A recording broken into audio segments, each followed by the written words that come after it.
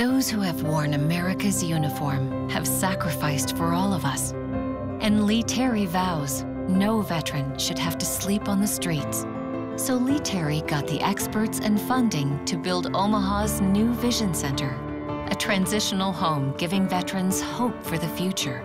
With all the headlines about the mistreatment of veterans, it's nice to know Lee Terry is fighting to make their lives better. I'm Lee Terry and I approve this message.